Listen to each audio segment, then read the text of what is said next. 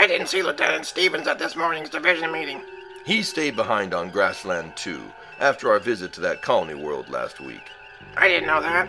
Yes, he stayed to attend the funeral of his friend Grem, who suddenly died. He was a guard at the minimum security lockup in the capital city there. Oh no, some kind of accident? It was terrible. Grem was. he was eaten. Eaten? Yes, by a Kzinti, an inmate there. Actually, Grem was the eighth herbivore devoured at that prison. But the Grazerites segregate their prisons, with carnivores being in a different facility than the smaller and defenseless herbivores, for safety. How could there be a carnivore in a herbivore prison? According to their latest laws, there are no carnivores there.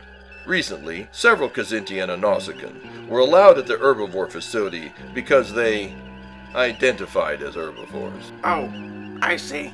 But, uh, don't the prison officials require them to have their claws or teeth removed or something like Definitely not. The Grazerites recently adopted a species inclusive policy to recognize beings who renounce their prey devouring ways. And they don't require any surgery because it might insult them, since their laws state that anyone who identifies as a herbivore is a herbivore, and thus not dangerous.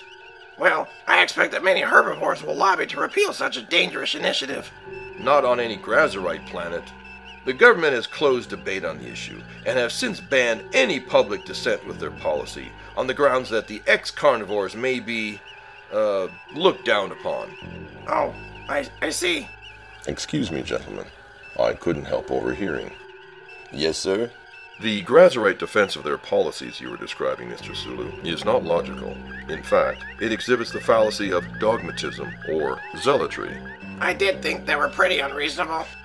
You are correct, Mr. Arex. I know of the situation occurring with Grazerite prisons. The policy and their defense of it exhibits dogmatism, since they hold the belief in repentant and converted carnivores unquestioningly, with undefended certainty. It is commendable to encourage those who try to give up poor behavior or bad habits. However, believing without question any pronouncement made by a chosen group of individuals solely because that group is to be encouraged is illogical. In this regard, the Grazerites issue any requirement to physically alter so-called ex-carnivores to prevent them from killing and eating prey, thus choosing to risk the death of defenseless inmates rather than possibly hurting the feelings of the more powerful sharp-toothed inmates.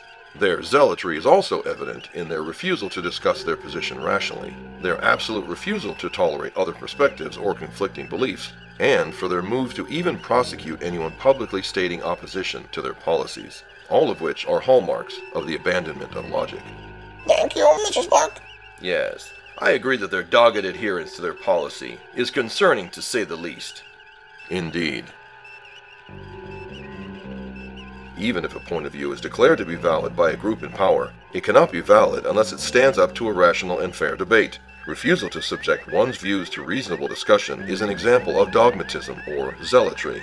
Rational and open discourse about important policy must be allowed and encouraged, otherwise, entire groups may be unfairly marginalized and even put at risk.